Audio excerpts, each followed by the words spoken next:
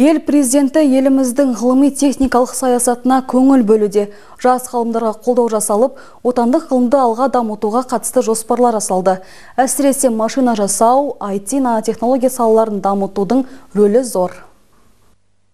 Мемлекет басшысы ғылымды қаржыландыру саласында үлкен теңсіздік бар екен атап өтті.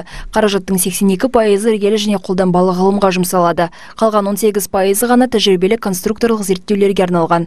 Елімізде ғылыми зерттеулерді іске жаратып, қолданысқа енгізетін өндірістердің тапшы екендігін атап өткен болатын. Сондықтан машина жасау, IT, нанотехнология салаларын дамытудың рөлі орасан. Қаламыздағы инженерлік орталық металл және полимер түрлерінің қасиеттерін, олардың мықтылығы мен қызмет ету мерзімін ұлғайту мақсатында басқа да ғылыми тәжірибелік жобаларды іске асыру бойынша екі жылдан астам уақыт аралығында жұмыс істеп келеді. Біздің орталығымызда материалтану және машина жасау саласында ғылыми жұмыстар атқарылу үстінде қазіргі уақытта алты ғылыми үлкен жоба жұмыстары орындалуда. Ол жаңағы машина бөлшектерін қалпына келтіру және де биологиялық саладағы медициналық импланттарды жасауға байланысты алдыңғы қатарда инновациялық жұмыстар атқарылуда.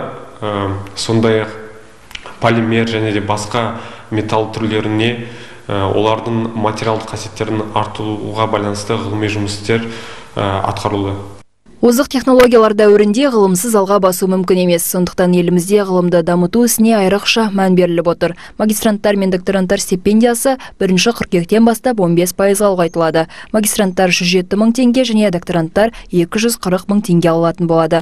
Жалпы мемлекет басшысының тапсырмасы бойынша 2020 жылдан бастап стипендияны көбейту бойынша жоспарлау жұмыс жүргізіліп келеді.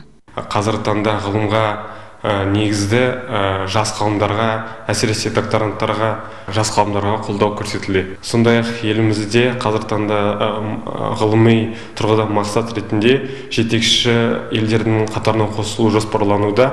Инженерлік орталықта оннан астам ғылыми қызметкер жұмыс істейді. Әрқайсысы өздерінің жобаларын ұсынып зерттеу жұмыстарын шетелдік ғылыми журналдарға жариялайды. Қазіргі таңда орталықта алты ғылыми жоба жүзеге асырылып жатыр. Жұлдызай маратқызы сұлтан жоламанов аян мұхтарұлы семей телеарнасы.